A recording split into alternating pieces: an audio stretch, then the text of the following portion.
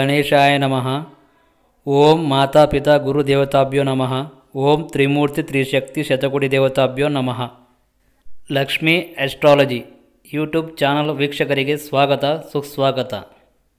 ಮೊದಲು ಎಲ್ಲರಿಗೂ ಮುಂಚಿತವಾಗಿ ಈ ಎರಡು ಸಾವಿರದ ಇಪ್ಪತ್ತ್ಮೂರು ಹೊಸ ವರ್ಷದ ಶುಭಾಶಯಗಳು.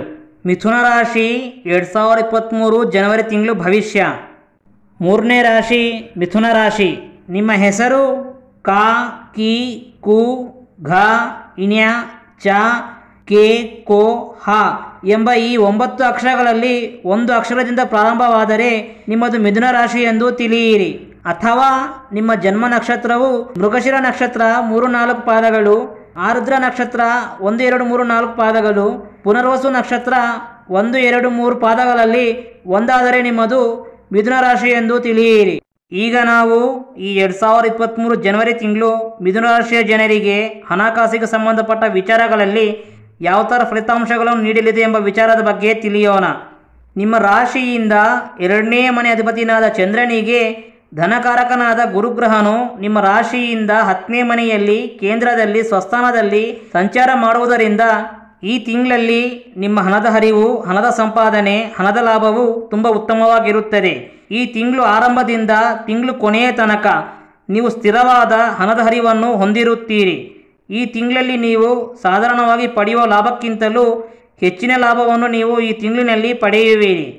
ನಿಮಗೆ ಯಾರಾದರೂ ಹಣವನ್ನು ಕೊಡಬೇಕಿದ್ದರೆ ಆ ಹಣವನ್ನು ನೀವು ಈ ತಿಂಗಳಲ್ಲಿ ಪಡೆಯುವ ಸಾಧ್ಯತೆ ಇದೆ ಈಗ ನಾವು ಈ ಎರಡು ಸಾವಿರದ ಇಪ್ಪತ್ತ್ಮೂರು ಜನವರಿ ತಿಂಗಳು ಮಿಥುನ ರಾಶಿಯ ಜನರಿಗೆ ಉದ್ಯೋಗಕ್ಕೆ, ವ್ಯಾಪಾರಕ್ಕೆ, ಕೆಲಸ ಕ್ಷೇತ್ರಕ್ಕೆ ಸಂಬಂಧಪಟ್ಟ ವಿಚಾರಗಳಲ್ಲಿ ಯಾವ ಥರ ಇರುತ್ತದೆ ಎಂಬ ವಿಚಾರದ ಬಗ್ಗೆ ತಿಳಿಯೋಣ.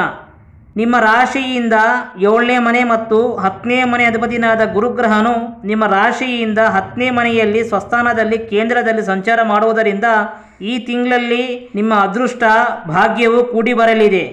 ಈ ತಿಂಗಳಲ್ಲಿ ನಿಮ್ಮ ಉದ್ಯೋಗದಲ್ಲಿ, ವ್ಯಾಪಾರದಲ್ಲಿ, ನಿಮ್ಮ ಕೆಲಸ ಕ್ಷೇತ್ರದಲ್ಲಿ ಹಣದ ಹರಿವು, ಹಣದ ಲಾಭ, ಹಣದ ಸಂಪಾದನೆ ತುಂಬ ಉತ್ತಮವಾಗಿರುತ್ತದೆ. ಈ ತಿಂಗಳಲ್ಲಿ ನಿಮ್ಮ ಉದ್ಯೋಗದಲ್ಲಿ, ವ್ಯಾಪಾರದಲ್ಲಿ, ನಿಮ್ಮ ಕೆಲಸ ಕ್ಷೇತ್ರದಲ್ಲಿ ಹೊಸ ಅವಕಾಶಗಳು, ಹೊಸ ಆದಾಯ ಮೂಲಗಳು ತೆರೆದುಕೊಳ್ಳುವ ಸಾಧ್ಯತೆ ಇದೆ. ಯಾರು ಹೊಸದಾಗಿ ಉದ್ಯೋಗವನ್ನು ಪಡೆಯಲು ಪ್ರಯತ್ನವನ್ನು ಮಾಡುತ್ತಿದ್ದೀರೋ ಅಥವಾ ಉದ್ಯೋಗ ಸ್ಥಳವನ್ನು ಬದಲಾಯಿಸಲು ಪ್ರಯತ್ನವನ್ನು ಮಾಡುತ್ತಿದ್ದೀರೋ ಅವರಿಗೆ ಉತ್ತಮ ಕಂಪ್ನಿಯಲ್ಲಿ ಕೆಲಸ ಸಿಗುವ ಸಾಧ್ಯತೆ ಇದೆ. ಹೊಸದಾಗಿ ವ್ಯಾಪಾರ ಪ್ರಾರಂಭಿಸಲು ಇಚ್ಛಿಸುವವರಿಗೆ ಹೊಸದಾಗಿ ವ್ಯಾಪಾರ ಪ್ರಾರಂಭಿಸಲು ಈ ತಿಂಗಳು ಉತ್ತಮವಾಗಿದೆ ಎಂದು ಹೇಳಬಹುದು. ಕೆಲವು ವ್ಯಾಪಾರಸ್ಥರು ತಮ್ಮ ವ್ಯಾಪಾರವನ್ನು ವಿಸ್ತರಿಸುವ ಸಾಧ್ಯತೆ ಇದೆ. ಟೀಚಿಂಗ್ ಸರ್ಕಾರಿ ಸಂಸ್ಥೆಗಳಲ್ಲಿ school, college, bank, sweets, bakery, court, ನೀರು, ಹಾಲಿಗೆ ಸಂಬಂಧಪಟ್ಟ ಸಂಸ್ಥೆಗಳಲ್ಲಿ ಉದ್ಯೋಗ, ವ್ಯಾಪಾರ, ಕೆಲಸ ಮಾಡುವವರಿಗೆ ಈ ತಿಂಗಳು ತುಂಬ ಉತ್ತಮವಾಗಿದೆ ಎಂದು ಹೇಳಬಹುದು. ಈಗ ನಾವು ಈ ಎರಡು ಸಾವಿರದ ಇಪ್ಪತ್ತ್ಮೂರು ಜನವರಿ ತಿಂಗಳು ಮಿಥುನ ರಾಶಿಯ ಜನರಿಗೆ ಮದುವೆಗೆ ಸಂಬಂಧಪಟ್ಟ ವಿಚಾರಗಳಲ್ಲಿ, ವೈವಾಹಿಕ ಜೀವನಕ್ಕೆ ಸಂಬಂಧಪಟ್ಟ ವಿಚಾರಗಳಲ್ಲಿ, ಸಂತಾನಕ್ಕೆ ಸಂಬಂಧಪಟ್ಟ ವಿಚಾರಗಳಲ್ಲಿ ಯಾವ ಥರ ಇರುತ್ತದೆ ಎಂಬ ವಿಚಾರದ ಬಗ್ಗೆ ತಿಳಿಯೋಣ. ನಿಮ್ಮ ರಾಶಿಯಿಂದ ಏಳನೇ ಮನೆ ಮತ್ತು ಹತ್ತನೇ ಮನೆ ಅಧಿಪತಿನಾದ ಗುರುಗ್ರಹನು ನಿಮ್ಮ ರಾಶಿಯಿಂದ ಹತ್ತನೇ ಮನೆಯಲ್ಲಿ ಸ್ವಸ್ಥಾನದಲ್ಲಿ ಸಂಚಾರ ಮಾಡುವುದರಿಂದ ಮದುವೆಯನ್ನು ಆಗಲು ಪ್ರಯತ್ನ ಮಾಡುವವರಿಗೆ ಈ ತಿಂಗಳು ಉತ್ತಮವಾಗಿದೆ ಎಂದು ಹೇಳಬಹುದು. ನೀವು ಸರಿಯಾಗಿ ಪ್ರಯತ್ನಿಸಿದರೆ ಈ ತಿಂಗಳಲ್ಲಿ ನಿಮ್ಮ ಜೀವನ ಉತ್ತಮ ಭಾಗಸ್ವಾಮಿಯನ್ನು ನೀವು ಪಡೆಯಬಹುದು ಮತ್ತು ಮದುವೆಯನ್ನು ಸಹ ಆಗಬಹುದು. ವಿವಾಹಿತರು ವೈವಾಹಿಕ ಜೀವನದಲ್ಲಿ ಉತ್ತಮ ಫಲಿತಾಂಶಗಳನ್ನು ಈ ತಿಂಗಳಲ್ಲಿ ಪಡೆಯುವರು.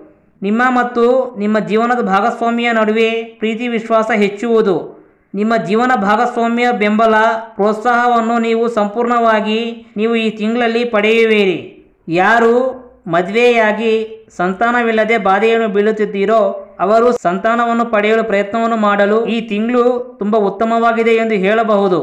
ನೀವು ವಿವಾಹವಾಗಿ ನಿಮಗೆ ಸಂತಾನವಿದ್ದರೆ ನಿಮ್ಮ ಮಕ್ಕಳು ವಿದ್ಯೆ, ಉದ್ಯೋಗ, ವ್ಯಾಪಾರಕ್ಕೆ ಸಂಬಂಧಪಟ್ಟ ವಿಚಾರಗಳಲ್ಲಿ ಸಮಯದಲ್ಲಿ ಉತ್ತಮ ಕೀರ್ತಿ ಪ್ರತಿಷ್ಠೆಗಳನ್ನು ಗಳಿಸುವರು ಮತ್ತು ಉತ್ತಮ ಫಲಿತಾಂಶಗಳನ್ನು ಪಡೆಯುವರು.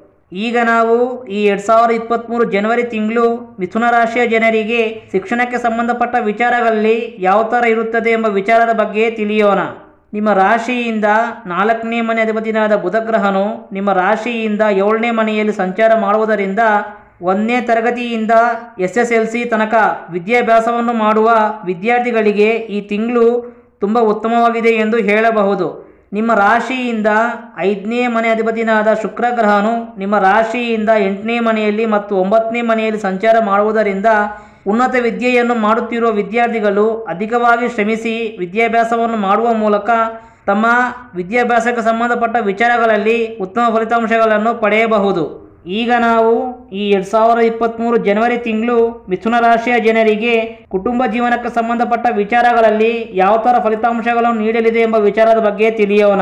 ನಿಮ್ಮ ರಾಶಿಯಿಂದ ಎರಡನೇ ಮನೆಯಾದ ಕುಟುಂಬ ಸ್ಥಾನವಾದ ಕರ್ಕಟಕ ರಾಶಿಯ ಮೇಲೆ ಗುರುಗ್ರಹಣ ಶುಭ ದೃಷ್ಟಿ ಇರುವುದರಿಂದ ಈ ತಿಂಗಳಲ್ಲಿ ನಿಮ್ಮ ಕುಟುಂಬ ಜೀವನದ ವಿಚಾರದಲ್ಲಿ ನೀವು ಉತ್ತಮ ಫಲಿತಾಂಶಗಳನ್ನು ಪಡೆಯುವಿರಿ.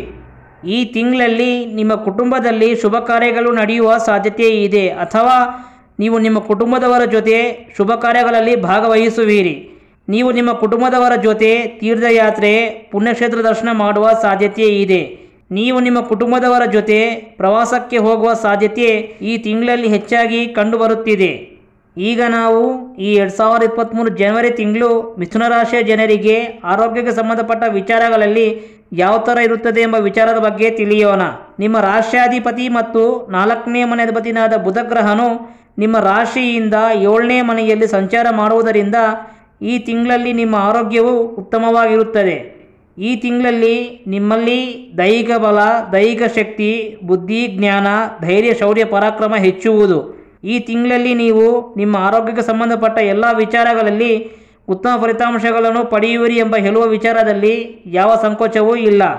ಈ ಎರಡು ಸಾವಿರದ ಇಪ್ಪತ್ತ್ಮೂರು ಜನವರಿ ತಿಂಗಳಲ್ಲಿ ಮಿಥುನ ರಾಶಿಯ ಜನರಿಗೆ ನವಗ್ರಹಗಳಲ್ಲಿ ಬುಧ, ಗುರು, ರಾಹು ಈ ಮೂರು ಗ್ರಹಗಳು ಶುಭ ಫಲಿತಾಂಶಗಳನ್ನು ನೀಡುವರು.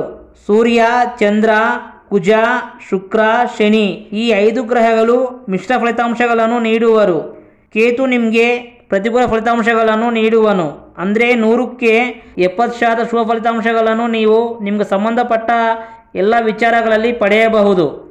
ಈಗ ನಾವು ಈ ಎರಡು ಸಾವಿರದ ಇಪ್ಪತ್ತ್ಮೂರು ಜನವರಿ ತಿಂಗಳಲ್ಲಿ ಮಿಥುನ ರಾಶಿಯವರು ಮಾಡಬೇಕಾದ ಪರಿಹಾರಗಳ ಬಗ್ಗೆ ತಿಳಿಯೋಣ. ನವಗ್ರಹ ದೇವಸ್ಥಾನದಲ್ಲಿ ಕುಜಗ್ರಹಕ್ಕೆ ಮತ್ತು ಕೇತುಗ್ರಹಕ್ಕೆ ಶಾಂತಿಯನ್ನು ಆಚರಿಸಿ. ಅಥವಾ ಪ್ರತಿ ಮಂಗಳವಾರ ಶ್ರೀ ಆಂಜನೇಯ ದೇವಸ್ಥಾನಕ್ಕೆ ಭೇಟಿ ನೀಡಿ ಶ್ರೀ ಆಂಜನೇಯ ಸ್ವಾಮಿಗೆ ಪೂಜೆಯನ್ನು ಸಲ್ಲಿಸಿ. ಇದನ್ನು ನೀವು ಪ್ರತಿ ಮಂಗಳವಾರ ಮಾಡುವ ಮೂಲಕ ನಿಮ್ಮ ಜೀವನದಲ್ಲಿ ಉತ್ತಮ ಫಲಿತಾಂಶಗಳನ್ನು ನೀವು ಪಡೆಯಬಹುದು.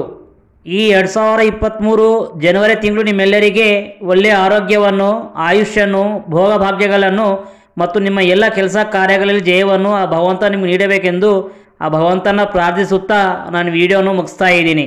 ಸರ್ವೇ ಜನ ಸುಖಿನೋ ಭವಂತು. ಓಂ ಶಾಂತಿ ಶಾಂತಿ ಶಾಂತಿ.